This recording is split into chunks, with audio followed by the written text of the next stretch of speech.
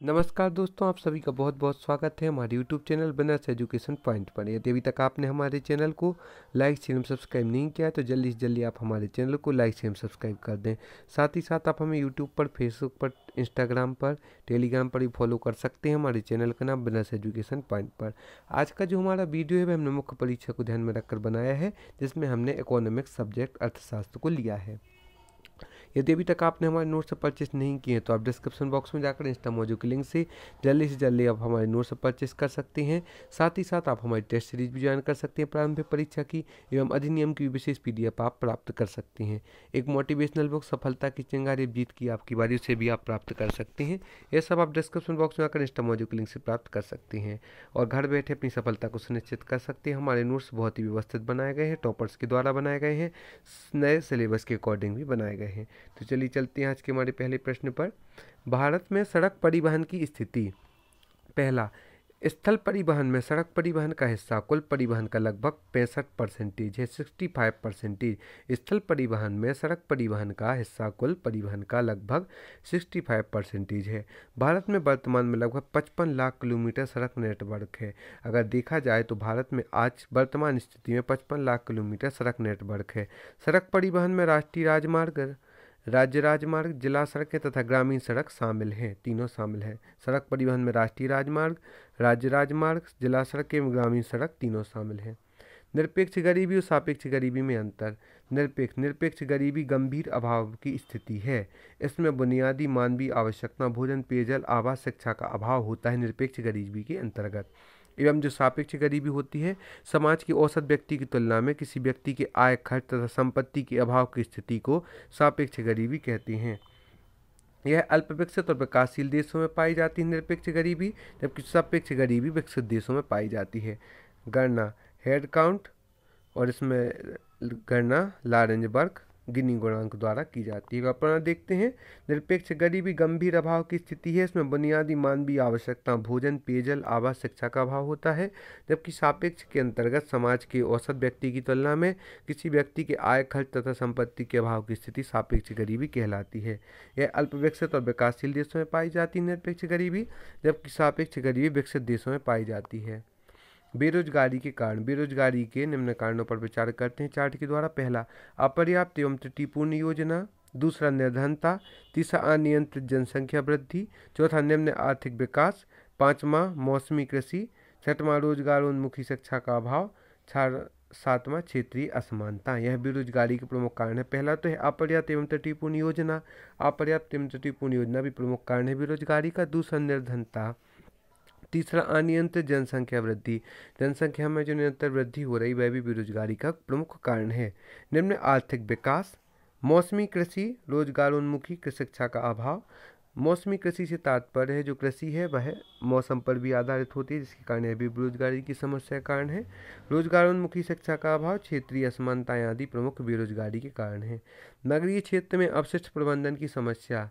नगरीय क्षेत्र में अपशिष्ट प्रबंधन की निम्न समस्या पहला कुशल श्रम का अभाव, दूसरा तकनीकी अभाव, तीसरा अपशिष्ट निपटारे हेतु स्थान का अभाव, चौथा गीला व सूखा कचरा अलग करने के प्रति जागरूकता का अभाव, प्रयास इंदौर मॉडल, कचरा ईंधन निर्माण, उन्नीस सोलह सौ पैंतालीस में प्रयोग किया गया था।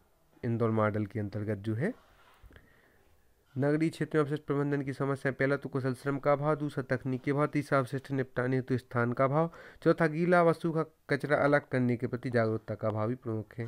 क्षेत्रीय असंतुलन के कारण उत्पन्न हो रही समस्या का वर्णन कीजिए। समस्याएँ। क्षेत्र विशेष में प्राकृतिक संसाधनों पर बढ़ता दबाव, इसका उदाहरण है दिल्ली। क्षेत्रीय संतुलन के कारण समस्याएँ जो उत्पन्न होती हैं। दूसरा है आधारभूत अवसंरचना की कमी, उदाहरण है परिवहन। तीसरा, पिछले क्षेत्र में आतंकवाद, नक्सलवाद, उग्रवाद आदि का विकास यह भी क्षेत्रीय संतुलन के कारण उत्पन्न हो रही समस्याओं में से एक है। शहरी बेरोजगारी, शिक्षित, रोज़गार अवसरों का पर्याप्त सृजन नहीं है। इसलिए शिक्षित लोग भी बेरोजगार हैं। रोज़गार उन्मुख शिक्षा प्रणाली का ना होना यह भी बेरोजगारी का कारण है। शिक्षित लोगों की बढ़ती संख्या भी शिक्षित बेरोजगारी का कारण है। औद्योगिक उद्योग कारखाने बंद होने के कारण उत्पन्न बेरोजगारी औद्योगिक बेरोजगारी है। प्रवेशन के कारण बढ़ती श्रम शक्ति भी प्रमुख औद्योगिक बेरोजगारी के अंतर्गत आती है। नरसिम्हा समिति बैंकिंग सुधार के लिए गठित प्रमुख समिति है नरसिम्हा समिति, जो कि उन्नीस सौ इक्यानवे में इसका गठन किया गया था। आर्थिक संकट के उपरांत उत्पन्न वित्तीय एवं बैंकिंग क्षेत्रों में व्याप्त असमानताओं को दूर करने हेतु गठित की गई है नरसिम्हन समिति। प्रमुख सिफारिशें हैं बैंकों को स्वायत्तता देना, विदेशी बैंकों की अनुमति देना, निजी बैंकों को लाइसेंस देना। चौथा है आरबीआई द्वारा विवेकपूर्ण नियंत्रण, ये प्रमुख सिफारिशें हैं नरसिम्हा समिति की। जो कि उन्नीस सौ इक्यानवे में गठित की गई थी। इसकी प्रमुख सिफारिशें पहली तो है बैंकों को स्वायत्तता प्रदान करना। दूसरा है विदेशी बैंकों को अनुमति प्रदान करना। तीसरा है निजी बैंकों को लाइसेंस प्रदान करना। चौथा, आरबीआई द्वारा विवेकपूर्ण नियंत्रण करना। की बात का जो प्रश्न है, यहाँ पर हम आपको एक पुनः जानकारी दे दें कि यदि अभी तक आपने हमारे चैनल को लाइक, शेयर, सब्सक्राइब नहीं किया है, जल्दी जल्दी आप हमारे चैनल को लाइक, शेयर, सब्सक्राइब कर दें। साथ ही साथ आप डिस्क्रिप्शन बॉक्स में जाकर इंस्टा मौजूद के लिंक से हमारे नोट्स पीडीएफ एवं टेस्ट सीरीज़ भी ज्वाइन कर सकते हैं। अगला प्रश्न है, खाद्य सुरक्षा। देश के सभी लोगों को पर्याप्त मात्रा में भूषण, पोषण युक्त आहार की सार्वभौमिक पहुँच की सुनिश्चित, सुनिश्चितता ही खाद्य सुरक्षा है। संवैधानिक प्रावधान अनुच्छेद इक्कीस अनुच्छेद सैंतालीस के अंतर्गत खाद्य सुरक्षा मात्रात्मक एवं गुणात्मक। मात्रात्मक के अंतर्गत होता है पर्याप्त मात्रा में एवं गुणात्मक के अंतर्गत होता है पोषण युक्त। इस हेतु खाद्य सुरक्षा अधिनियम 2013 में लाया गया है। खाद्य सुरक्षा से तात्पर्य है, देश के सभी लोगों को पर्याप्त मात्रा में पोषण युक्त आहार की सार्वभौमिक पहुँच की सुनिश्चितता ही खाद्य सुरक्षा है।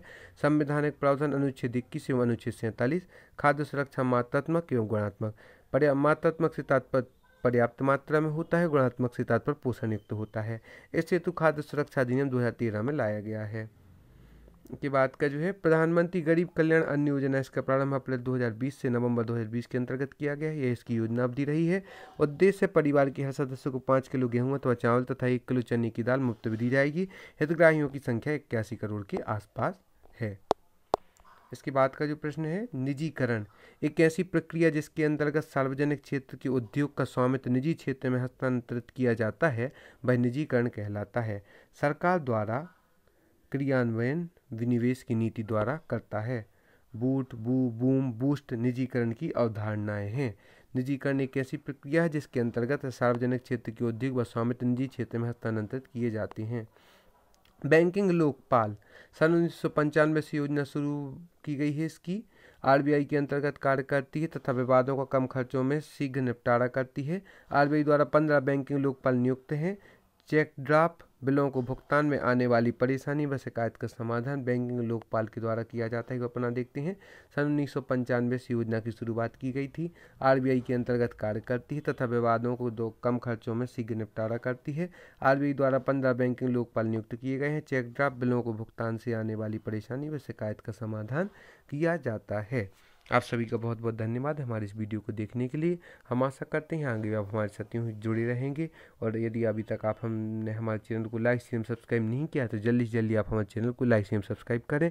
आप घर बैठे अपनी सफलता को सुनिश्चित कर सकते हैं हमारे मेंस की नोट्स प्राप्त करके, जो कि नए सिलेबस के अकॉर्डिंग है, टॉपर्स के द्वारा बनाए गए हैं। संपूर्ण सिलेबस को हमने उसमें कवर किया है और साथ ही साथ आप हमें फेसबुक पर, इंस्टाग्राम पर यूट्यूब पर एवं टेलीग्राम पर भी फॉलो कर सकते हैं। हमारे चैनल का नाम बनस एजुकेशन पॉइंट नाम से।